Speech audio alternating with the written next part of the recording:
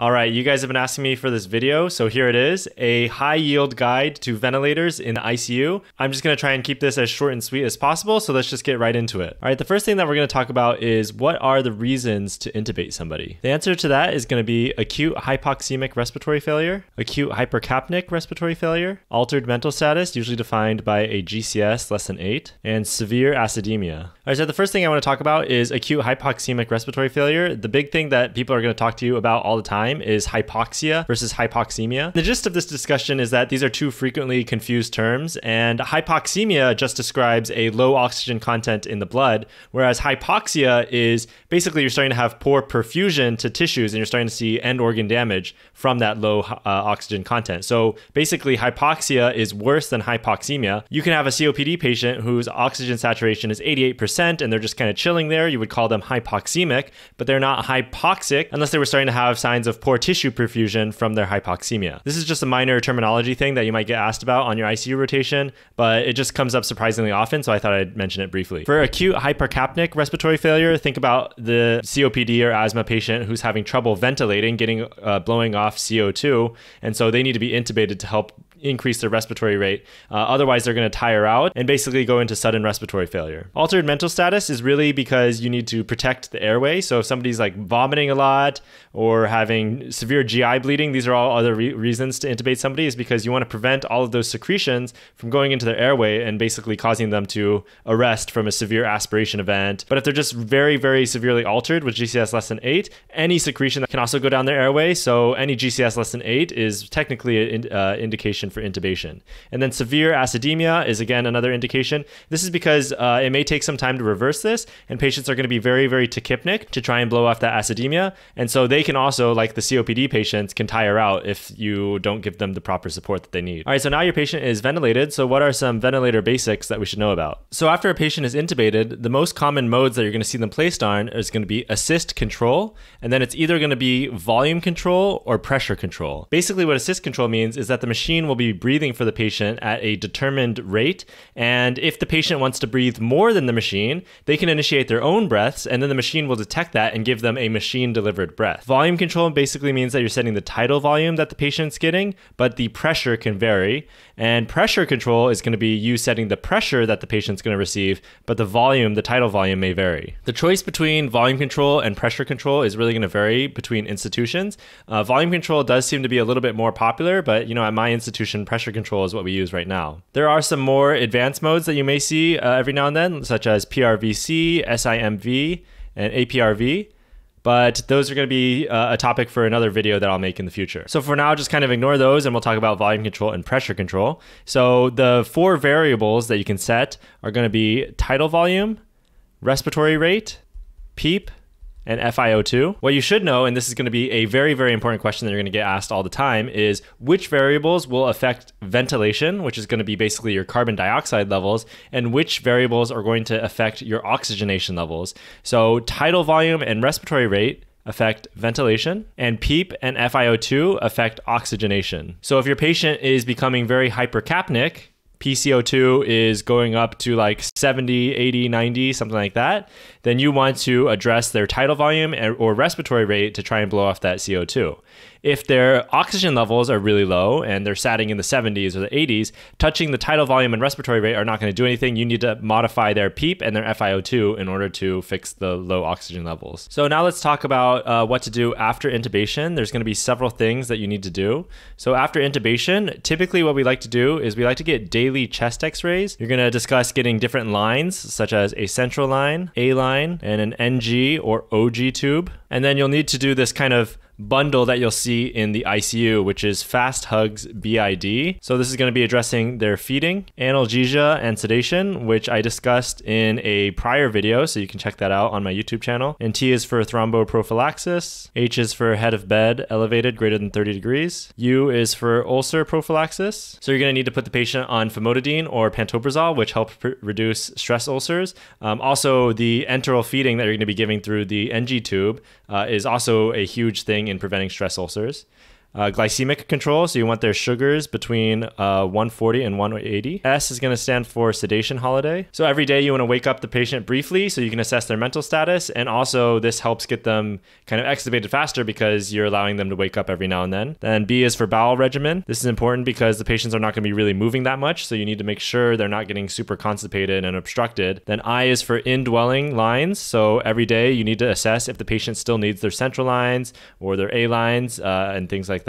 And then D is finally for de escalate, uh, which basically means de escalate antibiotics as soon as possible. Also, anytime that you make a change to the ventilator, you should get an ABG 30 minutes after any changes. Or if you change the patient from supine to prone or prone to supine, you should also get an ABG 30 minutes to an hour afterwards to see how the body position changed also uh, affected their blood gases as well. Going back to the daily chest x rays, the reason we get this is because they're going to have a lot of different lines in them. And so we have to assess the placement of them.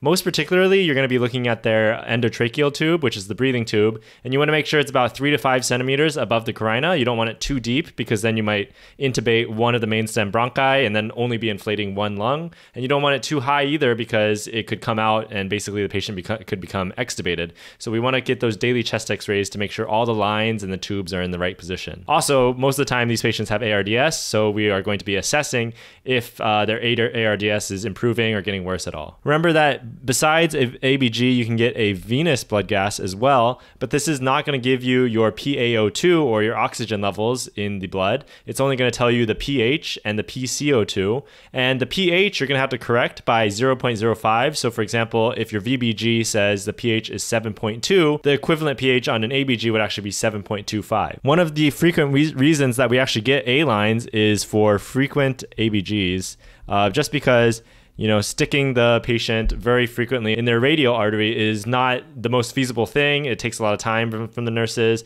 and eventually you're going to cause that artery to spasm off. So if a patient's going to need frequent ABGs, which most intubated patients are going to need, then you should get an A line. Now I want to discuss uh, monitoring after uh, intubation and trying to see basically how patients are doing. Are they getting better or worse? What are some of the things that we're going to be taking a look at? One of the main things we're going to look at is the P to F ratio, and this is basically calculated by getting the ABG, and you're going to get on the ABG, you're going to get a pH, and then you're going to get a PCO2, and then a PO2, and then the patient's also going to be on a certain uh, FiO2. So, say this patient was an FiO2 of 50%, then basically the P to F ratio is going to be this number divided by this number, which gets you 80 over 0.5 equals 160. So this patient's P to F ratio would be 160. The reason we look at their P to F ratio is because it gives us an idea if the patient's oxygenation is basically improving over time. And one of the things we look at to classify how severe somebody's ARDS is is the Berlin criteria. So basically the Berlin criteria states that ARDS is defined by uh, respiratory failure within seven days, uh, bilateral pulmonary opacities, and then the P to F ratio determines the severity. So a P to F of less than 300 is mild ARDS. P to F less than 200 is moderate ARDS. And then P to F less than 100 is severe ARDS. The other things that we want to monitor is that their peak pressures on the ventilator are less than 40 to 45 millimeters of mercury, that their plateau pressures are less than 30 millimeters of mercury, and that their driving pressure is less than 15. So, just to illustrate this, say you have a pressure over time loop. Your ventilator is going to be providing breaths, and you're going to get a corresponding pressure curve like this. And what you can do is actually put an inspiratory hold uh, which basically just kind of keeps the pressures where they are. And you'll get two kind of calculated pressures. And so this is going to be your peak pressure, and this is going to be your plateau pressure. And basically, what the peak pressure is going to represent is going to be airway resistance or obstruction, whereas an elevated plateau pressure is going to be a compliance problem. So, just for some examples, a high peak pressure could be because of asthma or COPD, where you have a lot of obstruction. And so it just takes a lot of force for the ventilator to push air into that system. However, the lungs themselves are going to be pretty compliant. So, in that situation, you'll have a high peak pressure, but probably a relatively normal plateau pressure.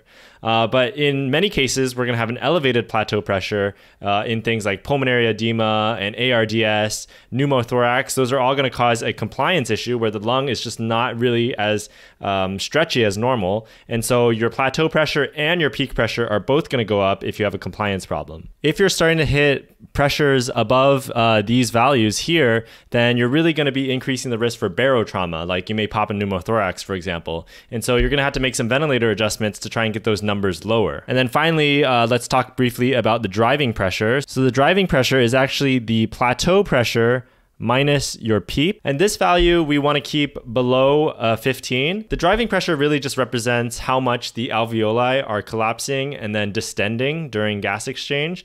And we want to keep it below 15 because once it's going above 15, basically your alveoli are just like opening and shutting and becoming huge. And basically there's a higher risk that they pop and cause uh, barotrauma as well. One common question that you're going to get is why do we use PEEP? So the importance of PEEP is that it prevents alveolar de-recruitment. So say that you have a patient, um, this is their uh, trachea and then their bronchi, and then it goes into these segmental places, and then they become smaller bronchioles, and then all of a sudden you get these little sacs, these air-filled sacs called alveoli at the end. So what we apply is this positive end expiratory pressure, which means that even after the end of a breath, we're still giving a little bit of positive pressure to help make sure that these alveoli stay somewhat open. What we really don't want them to do is just collapse and be, basically become uh, atelectatic, which means the whole area is collapsed, because it takes so much more force to open those alveoli back up rather than just keeping them open with some PEEP and then just allowing proper gas exchange to occur. Imagine when you're inflating a balloon and when it's completely, uh, you know, not filled with air at all, the initial amount of effort to get the balloon starting to inflate is much higher than once the balloon is already partially inflated. So that's why we provide this PEEP because this prevents the alveoli from collapsing and de-recruiting. And de-recruiting basically means they're no longer participating in gas exchange. We want to keep them slightly open so that it's basically like that partly filled balloon already. And it's just much easier to inflate and deflate. All right, next I want to talk about some important trials that you should know. So the number one trial that you should know is the ARDSNet trial. And this basically compared a tidal volume of 6 cc's per kilogram versus a tidal volume of 12 cc's per kilogram and found that the 6 cc's per kilogram group was uh, much superior to the 12 cc's per kilogram one.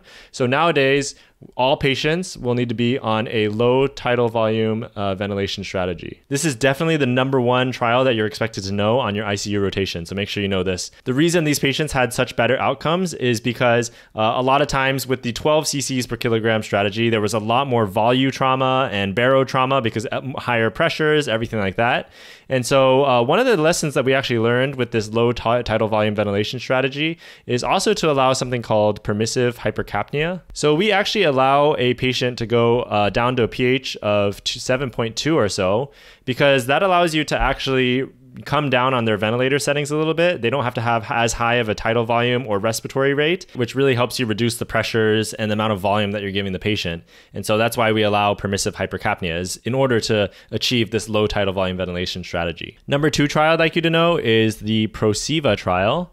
And this basically stated that proning improved outcomes when P to F is less than 150. So, in all of your patients who have a P to F ratio of less than 150, you should really start considering proning to see if that can improve their gas exchange.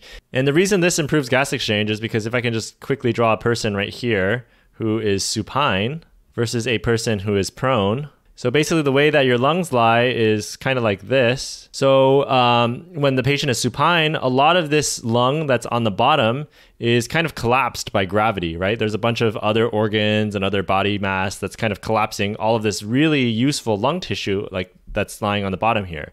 But when you prone the patient, all of this lung tissue is on the top, and instead you only get collapse at this area of the lung.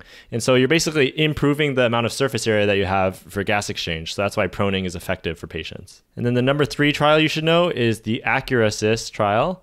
And this one showed that paralysis improves outcomes when P to F is less than 150. And this is where we give paralyzing agents such as vecuronium, rocuronium, and cisatracurium, and basically paralyzes the patients. It really allows their diaphragm muscles to completely relax and just allow the ventilator to do all of the work. And this improves outcomes compared to when patients are not paralyzed. However, this is a little bit more controversial because there was a more recent study called the ROSE trial, which did not find a similar mortality benefit uh, from paralysis. This. Remember from my sedation and analgesia video that anytime you're going to paralyze somebody, you need to make sure they have adequate sedation. Also, one thing I wanted to note about proning patients is that typically you're going to do proning for 18 hours and then supination for about six hours, and then you can kind of change that based on how the patient's responding. Sometimes you'll see 20 to 4, etc. And then once the patient's P to F ratio is greater than 150, then you usually stop proning. All right, so next let's talk about weaning the patient from the ventilator and getting them ready for extubation. So first of all, uh, really one thing you want to know is that our goal PaO2 is 55 to 80. So if they are starting to go above that, then just start decreasing their oxygen. Usually the first thing that we're going to do is come down on their FiO2 until it's less than 60%. This is because 60% is where you're really going to get a lot of that free radical oxygen toxicity. So, high levels of oxygen uh, really do pose a risk of causing uh, lung injury from free radicals.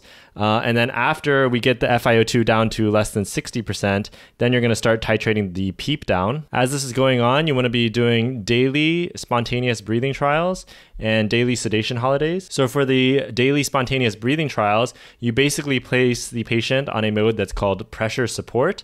And basically, this is just a low volume of PEEP that you're giving them, but they are actually doing all of the breathing on their own. There's really minimal assistance from the ventilator. And you want them to do this for about 30 minutes and see how they tolerate it. Did they get very tachypneic? Did they get very tired out? Were they oxygenating okay? Um, but if they do well with that, then you can potentially extubate them. If you're more worried about the patient, then usually you prolong the uh, spontaneous breathing trial to like an hour or even longer sometimes. And then besides prolonging their spontaneous breathing trial, if you're worried they're going to fail, uh, you can also what's called a T-piece trial. And this is basically an attachment that you place on their breathing tube in order to make it even more difficult to breathe. And so patients with COPD or heart failure who have a higher chance of failing extubation, it's definitely a good idea to potentially consider a T piece trial to make it more difficult for them.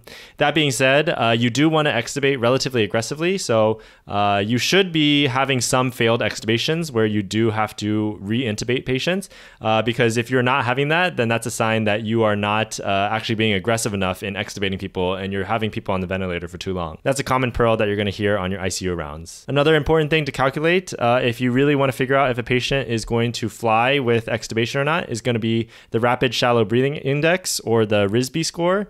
And this is going to be defined by the respiratory rate divided by the tidal volume during their spontaneous breathing trial. And if this is greater than 105, this predicts a failed extubation. So you want to see this number less than 105. Also, you want to check for what's called a cuff leak. Basically, what happens here is you have the trachea, and then you have the vocal cords, and then the ET tube is here, and there's a little balloon that prevents the uh, ET tube from going back out. And what happens is over a long time, you can get some swelling around this area. And what you don't want to do is remove this tube and then this swelling just kind of cuts off their airway. So what we do is we check for a cuff leak. So basically, again, we have this setup right here and we deflate the balloon and then we look to and we hear if there's any audible air leak from here. You also want to look for a tidal volume decrease of 110 milliliters. And those are all signs that you have a successful uh, cuff leak, which tells you that there's no swelling around the ET tube and that it would be safer to extubate them. So the presence of a cuff leak is a good thing. Something else that we sometimes check, uh, but this is a little bit less common, is a negative inspiratory force of less than negative 25. This is uh, basically a sign of how strong their diaphragm is. And so, in a lot of patients with neuromuscular disorders, this is something we check uh, prior to extubation, something like myasthenia gravis, for example, or Guillain Barre syndrome. And then finally, patients should be able to follow commands. You don't really want to extubate somebody who's not following commands. All right. And then finally, a few last things that I wanted to mention is that if you are going to extubate somebody with COPD or heart failure who you're worried is going to have a high chance of failing it, then you can extubate them to BiPAP which can help give them a little bit more support directly after extubation.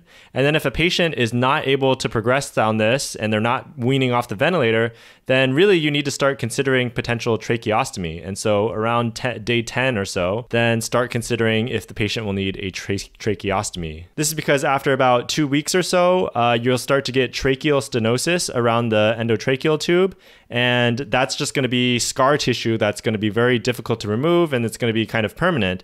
And so you need to get the breathing tube out and do a tracheostomy instead, which doesn't have as much foreign material just kind of sitting in their uh, airway. And so a tracheostomy can be done by either the pulmonologist or ENT doctors. And usually they're going to want to see the PEEP less than 10 and the FiO2 less than 60 uh, before attempting to do a tracheostomy. All right, and this is pretty much all the high yield stuff that I think is basically the key things that you need to know for your ICU rotation. These are things that are going to come up very, very frequently. You're going to be asked on basically all of these questions. Uh, so definitely know every single part of this uh, presentation, in my opinion. I really think this will be helpful for you. I think this gets you really on a good start for your ICU rotation. I know it's definitely a lot of information all at once, so feel free to ask questions down below if you have any. I'll also make some more in-depth videos about the other modes of ventilation and other ICU topics. Please let me know your thoughts and if you'd want me to go into uh, a little bit more detail about any of these particular subjects. Thanks again for watching. I'll see you in the next one and peace.